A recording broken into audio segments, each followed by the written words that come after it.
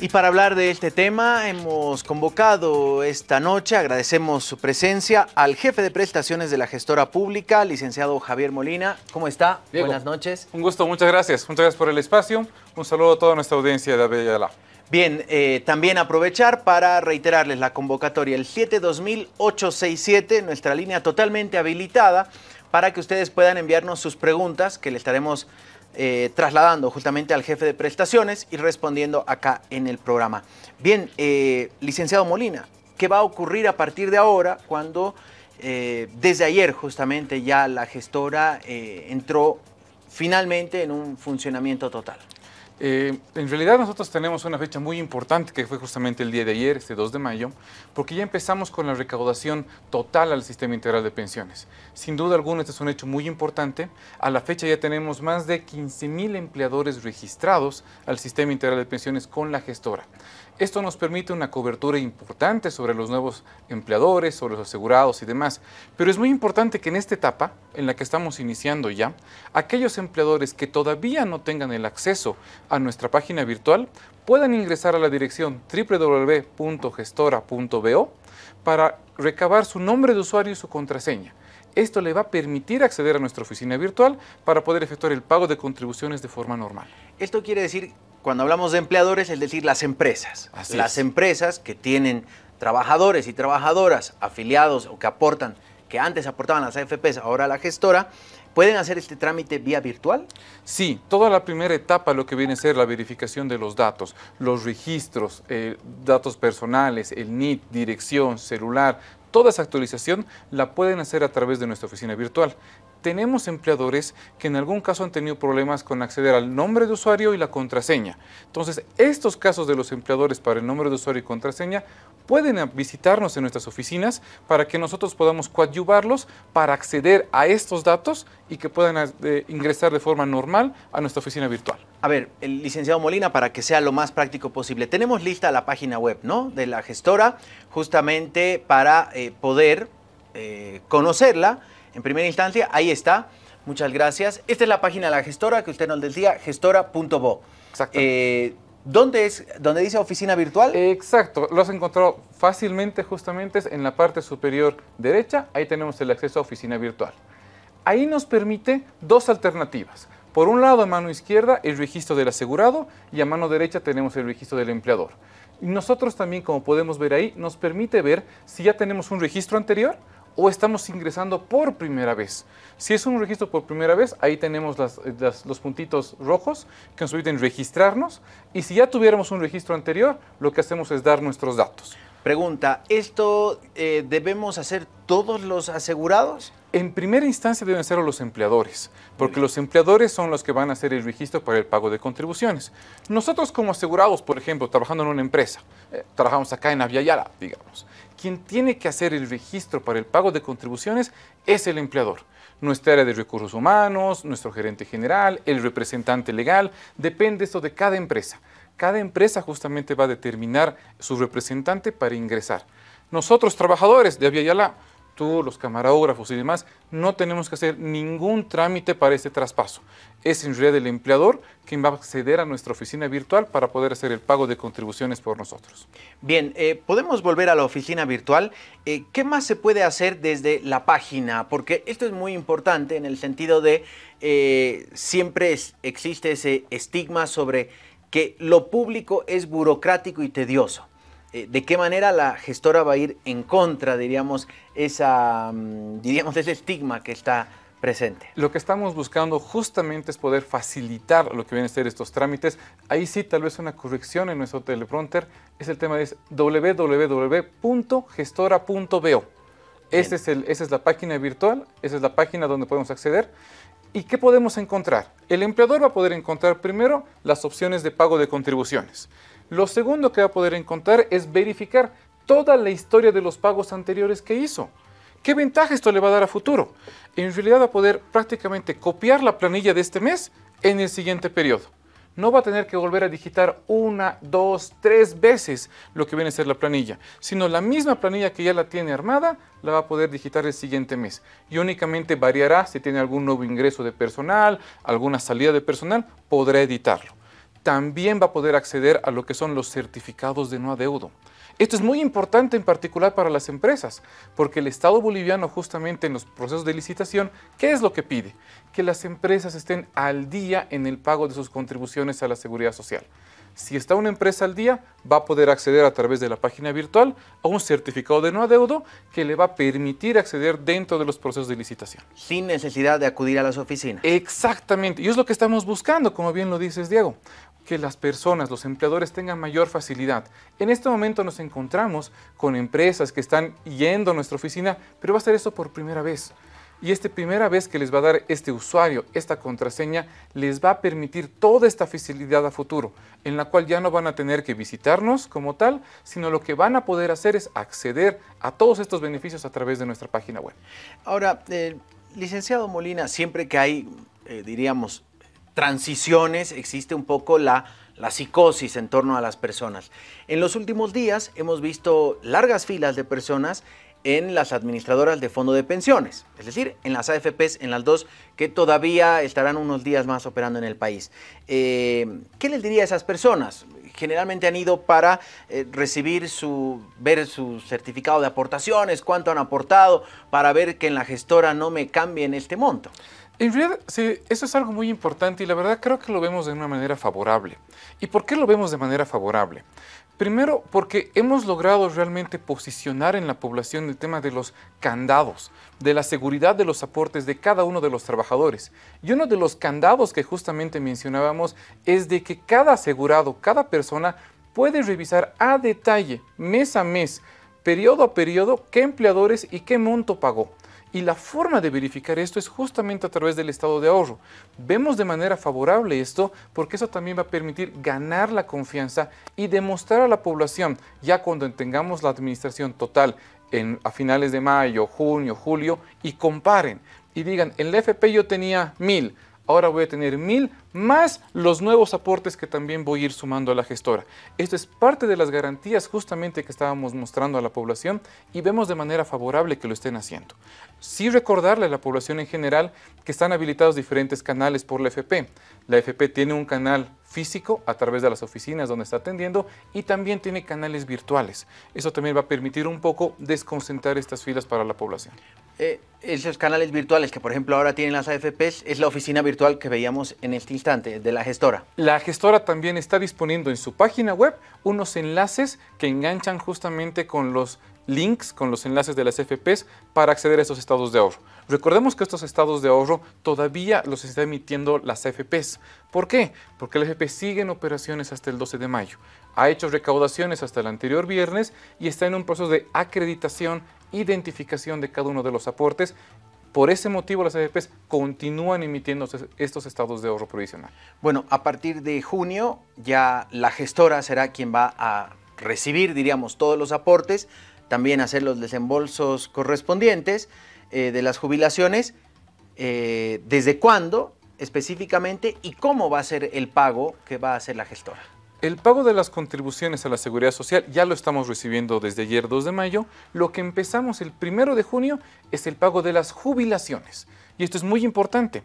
Tenemos más de 209 mil jubilados en el país. Y este dato sin duda es relevante porque estos 209 mil jubilados en el país no deben hacer un trámite adicional ante la gestora. Hemos visto estos días, por ejemplo, personas ya jubiladas que nos visitaban en nuestras oficinas y nos decían, ¿qué trámite tengo que hacer para que el próximo mes reciba mi jubilación? Ninguno. No debe ser ningún trámite. Existen dos grandes modalidades de pago, de las principales. Una es el pago en ventanilla, que es cuando nosotros como gestora a partir del 1 de junio vamos a habilitar en más de 35 entidades financieras el cobro la persona ya no va a ir a las 7, 8 entidades que están habilitadas el día de hoy, sino vamos a habilitar 35 entidades para desconcentrar justamente esta población y que puedan acceder con mayor facilidad a su jubilación. Y el segundo grupo grande que tenemos es el grupo de abonos en cuenta. Existen personas que al momento de jubilar decidieron que los pagos de su jubilación sean en una cuenta específica de un banco en los que ellos optaron. Este dinero a partir del 1 de junio igual lo van a recibir en la cuenta que ellos escogieron al momento de jubilarse. Bien, eh, nos dicen que ya hay varios mensajes que nos han llegado, eso nos alegra eh, poder disipar las dudas que ustedes tienen. Vayamos a revisar, ¿les parece? Eh, pongamos en pantalla, por favor, los mensajes que nos llegaron al 7200867. Buenas noches, dice, los que recibimos pensión por la muerte de la AFP, tenemos que inscribirnos a la gestora pública. Gracias, dice, gracias por su mensaje. No debe ser ningún trámite adicional. Todas las personas que reciben un pago, ya sea por jubilación o los que también son los pagos por riesgo, por ejemplo, pagos por invalidez, pagos por muerte, no deben hacer ningún trámite adicional. Bien, vamos con la siguiente.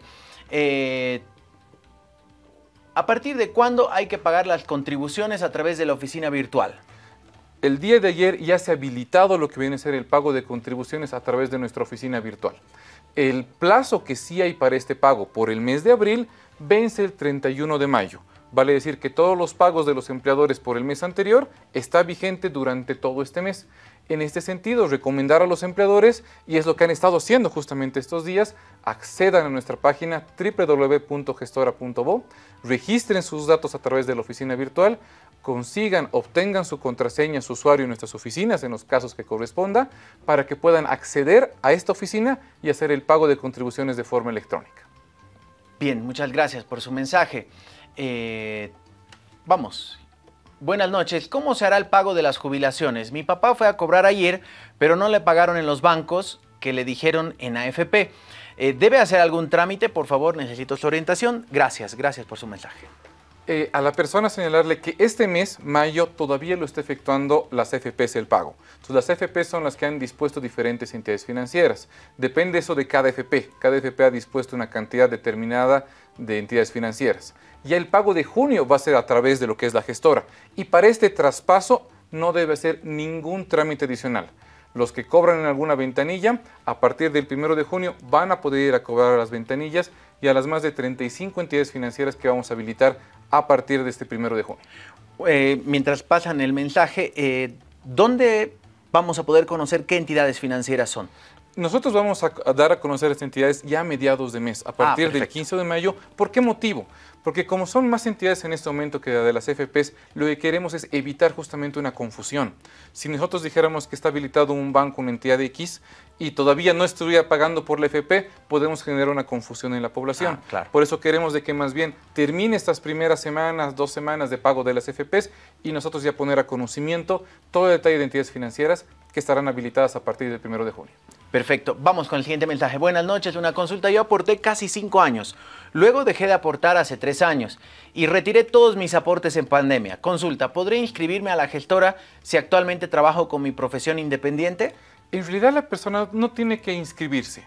Una vez que cualquiera de nosotros ya se registró al Sistema Integral de Pensiones, nos otorgaron un código único de asegurado, comúnmente conocido como CUA o como NUA. Ese código es de forma vitalicia independientemente que la persona hubiera retirado o no sus aportes, ese código no cambia. ¿Qué es lo que sí podemos recomendarle a esta persona? Entendemos que por el tema de la pandemia muchos bolivianos solicitaron esta devolución, este acceso a este retiro que se otorgó de manera excepcional. Estas personas pueden efectuar la devolución del monto al que accedieron para acceder a una pensión solidaria, para la redundancia. ¿Y qué pueden hacer? Se apersonan a la gestora, ingresan a nuestra oficina virtual y volver a efectuar el pago de contribuciones. ¿Por qué es importante esto? Porque al final lo que privilegia la seguridad social, el sistema integral de pensiones, es acceder a una jubilación. Porque la jubilación, a diferencia de un retiro, la jubilación es vitalicia.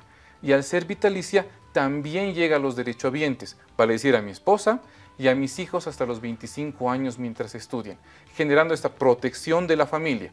Y además, esta pensión también viene con caja de salud, lo que permite una protección integral para el asegurado y para su familia.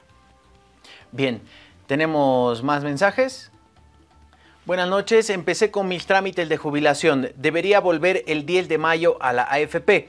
Ahora, ¿cómo queda con mi trámite de jubilación? Dice. Excelente pregunta. Este caso es uno que hemos venido atendiendo mucho a la fecha. Hasta el 12 de mayo, las FPs deben dar continuidad a los trámites. En el caso de la persona, ya tiene una fecha programada para el retorno, que es el 10 de mayo. Debe asistir al FP en la que está registrada para dar continuidad a su trámite. Ahora bien, existen trámites que tienen en diferentes etapas. La primera etapa es la verificación de los datos personales, luego habrá la verificación de los aportes y una tercera etapa será la firma del contrato o la declaración de jubilación. Cualquier persona puede acabar hasta el 12 de junio, hasta el 12 de mayo, perdón, en cualquiera de estas etapas. No es necesario que desistan este trámite. ¿Por qué? Porque la gestora va a respetar la fecha de inicio del trámite. Esto es muy, pero muy importante. ¿Por qué? El día de hoy, por ejemplo, atendimos una consulta de una persona que nos decía, en la FP me han recomendado que desista, que concluya el trámite y lo vuelva a empezar recién en la gestora a partir del 15, 16 de mayo. Si hace esto esta persona, va a perder lo que es el devengo. ¿Qué significa este devengo? Que la persona va a dejar de recibir desde que inició la solicitud su pensión. A modo de ejemplo, si yo hubiera iniciado mi trámite de jubilación el 10 de marzo, y lo concluyera el 10 de mayo en la FP, va a recibir el pago de jubilación por marzo, abril y mayo. Si tuviera alguna observación ese trámite y pasara del 12 de mayo, ya con la gestora, sea que lo termine el 10 de junio, el 10 de julio o la fecha en la que concluya todo su trámite por alguna observación o cualquier tema que tuviera, se le va a respetar el 10 de marzo como fecha de inicio de solicitud para pagarle todos esos meses siempre a favor del asegurado. Bien, buenísimo. Eh, siguiente, por favor. Buenas noches. ¿Cómo se realizará la vivencia? Eh, tenemos nosotros habilitado en este momento el control de vivencia a través del FP, que igual se mantiene hasta el 12 de mayo. También se ha emitido una normativa por parte del Consejo de Emergencias Sanitarias en las cuales las vivencias quedan habilitadas hasta el 31 de julio. Sin embargo, nosotros sí recomendamos a la población en general poder actualizar su registro de vivencias. ¿Y cómo lo puede hacer? En este momento a través del FP, ya sea yendo a las oficinas o a través de sus aplicaciones móviles. ¿Y qué va a hacer la gestora a partir del 15 de mayo? La gestora también va a poner a disposición el control biométrico, el control de vivencia a través de las oficinas, con un enrolamiento, con la misma huellita que tiene en su momento, y vamos a disponer también en esa oportunidad ya de una aplicación móvil para que las personas también puedan efectuar su enrolamiento, puedan efectuar su vivencia también de forma posterior a través de esta aplicación, desde su casa, desde un lugar alejado, sin necesidad de poder asistir a las oficinas, siempre a favor de la seguridad. Claro, porque hay casos en que hay incapacidad de, de, movilizarse, diríamos, ¿no? De moverse de muchas personas que reciben la jubilación. Así es. Tenemos muchas personas, por ejemplo, que después de jubiladas han decidido ir a áreas rurales. Eh, esta mañana, igual otra vez en los casos que atendíamos, teníamos una persona que vive en los Yungas de La Paz y nos decía, mira, yo vengo acá solamente por la vivencia, voy a tener que vivir cada mes. No. Si la vivencia la realiza este mes, por ejemplo, la realiza el día de hoy, 3 de mayo, la vivencia le vale por el mes de mayo, por el mes de junio y por el mes de julio, lo cual le permite justamente a la persona, si tuviera que retornar, retornar en julio. Ahora, si esta persona ya tuviera la aplicación móvil, a través del celular, lo va a poder hacer en julio sin necesidad de desplazarse de los Yungas a La Paz, a modo de ejemplo. Ah, buenísimo. Eh, tenemos otra pregunta. Buenas noches. ¿Cómo hacemos el control de vivencia? Donde a partir de ahora, bueno, ya justamente contestaba, ¿no? Este es un tema, parece que, sí, preocupa bastante el tema de la vivencia. Tenemos, tenemos muchas personas, casi el 40% del total de los jubilados cobran a través de bono en cuenta. Entonces, muchas personas justamente tenían esta preocupación y también las estamos asistiendo en lo que viene a ser nuestras oficinas. Están viniendo a consultar cómo hacerlo. La recomendación nuevamente en esta etapa es de que el control de vivencia hasta el viernes 12 lo efectúen en las FPs.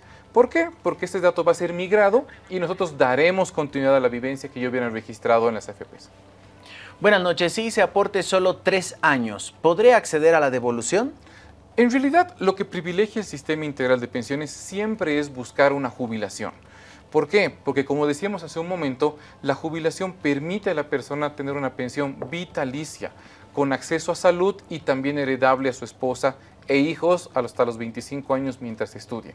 Si una persona llegara a los 58 años de edad, a modo de ejemplo, y no alcanzara los 10 años de aportes para acceder a una pensión solidaria, esta persona sí podría solicitar en ese momento el retiro de sus aportes. Sin embargo, otra vez a modo de ejemplo, una pareja esta, mañana asistíamos y nos decía, yo quisiera retirar mis aportes. La FP incluso me han dicho, presente la solicitud del retiro o preséntela directamente en la gestora. Y la pareja tenía 8 años de aportes, el marido tenía 8 años y la señora tenía 7 años de aportes. le faltan solo dos. Y con solo dos años de aportes ya podrían tener una pensión vitalicia. Pero algo importante, ambos ya tenían 60 años. Y en el caso de la mujer, tenía 7 años de aportes, le preguntamos cuántos hijos tenía. Y tenía tres hijos. ¿Qué significaba esto? Que por cada hijo nacido vivo, les valían un año de aportes para la mujer. La señora ya cumplía requisitos de jubilación. Con solo 7 años de aportes, más los tres hijos que tenía, ya puede iniciar un trámite de jubilación. Y en este momento el FP le había recomendado iniciar el trámite de retiro. Eh, a veces es cierto, hay que conocer un poco, y es lo que queremos hacer como gestora, informar mejor a la población. Esta persona, por ejemplo, ya dijo que iba a volver en los próximos días, ya a partir del 15 de mayo que vamos a empezar a recibir los trámites para iniciar el, trámite de jubilación, en este caso de la señora. Y el señor, como tiene 8 años, más bien, ¿qué hicimos? lo guiamos en lo que viene a ser el registro en nuestra página virtual para empezar a completar los aportes que le faltan y llegar a tener también los 10 años de aportes. De esta manera, ambos, esposo y esposa, van a tener una jubilación mensual. Buenísimo. Tenemos más mensajes. Recibo una pensión por muerte de mi esposa. ¿Podré cobrar este mes o debo esperar al siguiente? Este mes lo va a cobrar de forma normal a través del FP. La FP está efectuando este mes el pago de, las jubilaciones, en este caso de las pensiones por muerte, y a partir del primero de junio ya la gestora pondrá a disposición las pensiones de jubilación, las pensiones de riesgo, sean por invalidez o por muerte. Vamos, la última. Nos dicen que hay un montón de mensajes y el tiempo ya nos pisa. Queremos agradecerles. Buenas noches. Yo me jubilé hace cinco años con reducción de edad y ahora que ya tengo la edad, ¿me actualizan el monto? En realidad, el, una vez que nos jubilamos, en este caso con reducción de edad, ya han venido siendo esta jubilación actualizada año a año, ya sea si fue pensión solidaria a través de la UFB o los diferentes factores.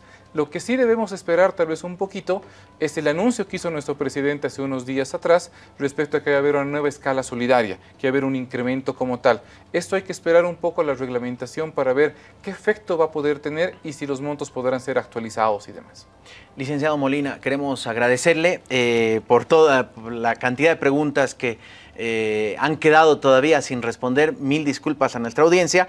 Más bien queremos invitarlo ante la cantidad de mensajes para que de repente la siguiente semana tengamos un poco más de tiempo y poder responder las preguntas que eh, muchas veces surgen a raíz de desinformación que vienen desde las propias AFPs, que por algún motivo han medio desinformado alguna, a la población y claro, eh, este tema de las pensiones que es muy delicado.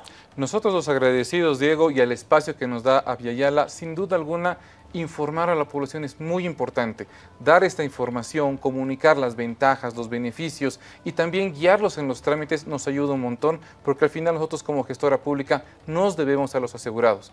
Diego, abierta siempre la posibilidad para poder ayudarlos, para tener estos espacios. Más bien, muchas gracias a ustedes. Gracias, licenciado Molina. Javier Molina, jefe de prestaciones de la gestora pública, respondiendo sus preguntas.